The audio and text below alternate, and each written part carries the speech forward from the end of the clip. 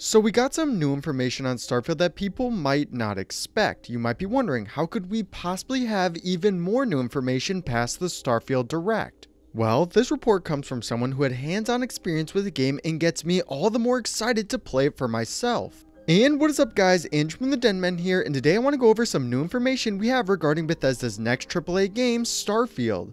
There's certainly a lot to talk about, so if you're excited, make sure you hit that like button and comment what your favorite thing was about the Direct. With that being said though, we have a lot to go over, so kick back, strap into your seat, and let's blast off into today's video. In the aftermath of the highly anticipated Starfield Direct, where Bethesda Game Studios unveiled their upcoming space epic, one significant aspect seemed to be overlooked was IGN's exclusive one-hour gameplay session with the game. Ryan McCaffrey, an editor at IGN, had the opportunity to play Starfield extensively and shares thoughts on the game. Despite the absolute magnitude of this opportunity, McCaffrey's gameplay impressions haven't gained as much attention as they really deserve. One of the main takeaways from McCaffrey's gameplay session was his emphasis on the immense scope portrayed in the Starfield Direct and how it was indeed reflected in the gameplay. McCaffrey stated that the scope of Starfield is on a grand scale comparable to that of the vastness of the No Man's Sky universe. However, unlike No Man's Sky which primarily focused on exploration and resource gathering, Starfield combines these mechanics with the fully fleshed out Bethesda RPG experience. McCaffrey then goes on to note that Starfield offers players a compelling and interconnected story, meaningful choices and consequences, and a sense of exploration that extends far beyond simple discovery. During the gameplay session, it was confirmed that Starfield is primarily a single player experience with no multiplayer or co-op features. Even though we kinda already knew this, McCaffrey also mentions that Bethesda has designed the game in a way that players may never feel compelled to complete the main story. Instead, they can immerse themselves in various other activities such as outpost building, ship customization, and engaging in dynamic faction interactions. With that being said though, the main storyline may take a backseat to these other engaging side pursuits and players can choose to prioritize what interests them the most, allowing for a truly player-driven experience. McCaffrey's account of ship-to-ship -ship interactions was particularly exciting. He described the various options available to players including hailing other ships for friendly communication or resorting to more aggressive methods such as boarding. Starfield seems to be incorporating a lot of these elements of space piracy and smuggling, providing players with opportunities to engage in these activities and carve their own path in the game's universe. I will say though, the ability to interact with other ships in such dynamic ways add an extra layer of immersion and agency to the gameplay experience.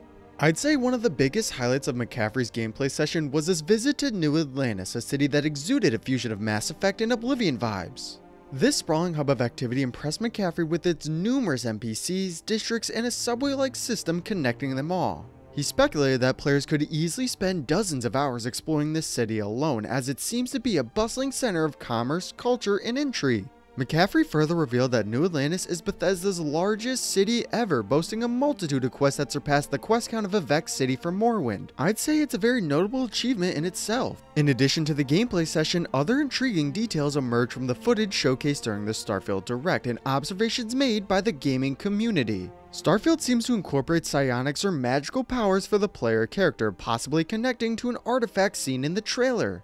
The HUD in the game also appears to include a new menu section which could be related to these magical abilities. This blending of sci-fi and fantasy elements adds an extra layer of depth and variety to the gameplay experience, providing players with unique ways to approach challenges and interact with the game world. However, some concerns were raised during the gameplay session, particularly regarding the looting of enemy armor. McCaffrey mentioned that it wasn't clear whether certain conditions needed to be met or if the shots were filmed on different builds of the game. While this uncertainty may cause a bit of unease among fans, it's important to note that the gameplay session represented a work in progress build and Bethesda Game Studios has a proven track record of addressing and improving upon such issues before release. Another noteworthy aspect highlighted during the Starfield Direct event was the depiction of Earth in the gameplay footage. The shot showcased desolation and sand-covered landscapes suggesting a significant backstory waiting to be uncovered by the players. The inclusion of Earth as a location in the game's universe adds an interesting layer of familiarity and mystery, raising questions about what led to its state and how it connects to the larger narrative of Starfield. I'd say exploring and unraveling the secrets of Earth will undoubtedly be an intriguing aspect of the gameplay experience. In terms of technical specifications, McCaffrey confirmed that Starfield's minimum requirement includes the use of an SSD. This places Starfield among the first releases to necessitate this feature, highlighting the game's ambition and its potential for pushing the boundaries of current gaming hardware. The requirement for an SSD hints at the game's vast open world, seamless exploration, and the need for quick loading times, ensuring a smooth and immersive experience for players. Overall, McCaffrey's gameplay impressions provide the community with promising insights into the depth, versatility, and immersive nature of Starfield. The game seems poised to offer an expansive and captivating universe for players to explore, filled with meaningful choices, engaging activities, and a rich, interconnected narrative. While the gameplay session showcased a work in progress build, it still managed to generate a great deal of anticipation and excitement within the gaming community. On top of the gameplay we heard about, we also got an interview between IGN and Todd Howard as well. During the interview, he recently provided insights into the performance of Starfield on consoles. He mentioned that the game aims for vast open worlds with dynamic details, offering players a fully immersive experience. The resolution will be 4K on the Xbox Series X and 1440p on the Xbox Series S. To ensure fidelity and consistency, the game will run at a locked 30 frames per second on consoles. While Todd Howard's preference is for a visually stunning game at a lower FPS, this decision ultimately eliminates player choice regarding framerate and visual quality. The lack of options for players to customize their experience is disappointing to me. Many modern games provide options for players to adjust these settings, so it's unfortunate that Starfield being a flagship title for Xbox doesn't offer this flexibility. It's important to remember that frame rate preferences are subjective. Some players may be content with 30 FPS while others prefer a smoother experience at 60 FPS or higher. This difference in opinion doesn't make one person right and the other wrong, it's simply a matter of preference. Nevertheless, the fact that Starfield is locked at 30 FPS on consoles won't ruin the game for me, however I believe it would have been better if players had the freedom to choose their preferred frame rate. The discussion surrounding this topic online has been intense with differing opinions on what constitutes an ideal frame rate. I also want to say that we did get confirmation that there will be more DLC after the game is released in its first DLC of Shattered Space. I'm assuming it's going to be in a similar vein to how Fallout 4 approaches post-launch content. You see, Bethesda has a history of providing expansion level content like Far Harbor and Nuka World for their games, as well as smaller feature focused DLCs like Automatron and Workshop packs. This news definitely excites me because it suggests that Starfield's rich world may have had some ideas or content that couldn't be fully implemented in the base game. These different DLCs could be the perfect opportunity to explore those cut concepts. The possibilities for Starfield's DLC are honestly endless.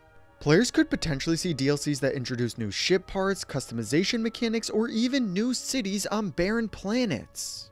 Additionally, skin packs have already been confirmed, including a pre-order bonus skin pack and a more comprehensive premium edition that includes the first story expansion. While there is no season pass available at the moment, the premium edition, priced $30 higher, offers early access to the game. Overall, the prospect of Starfield DLC is exciting to me as it promises to expand upon the game's universe and provide players with additional content and customization options to enhance their experience.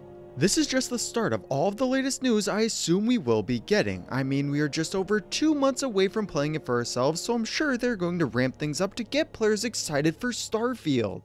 Who knows though, maybe this interview and the direct are the last things Bethesda is going to do before we can play it for ourselves. Either way, make sure you guys stay tuned on all of the latest information and get ready for Bethesda's next AAA title, Starfield. But that is all for me now though guys, if you enjoyed the video, make sure to leave a like and subscribe, comment any videos you want to see in the future, and I'll see you all next time!